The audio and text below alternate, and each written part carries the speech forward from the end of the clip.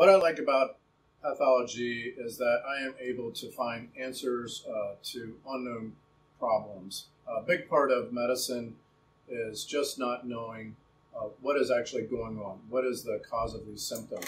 And a big satisfactory part of pathology is that uh, I am often a part of being able to give a name to that illness or to that disease, and that helps lead to uh, treatment plans uh, for that patient.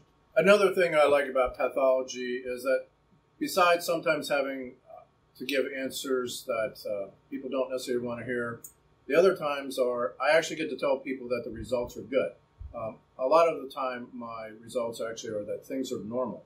Uh, just the other day, I had a case where the gastroenterologist uh, called me up and said, I'm concerned about this patient. They've had prior cancer.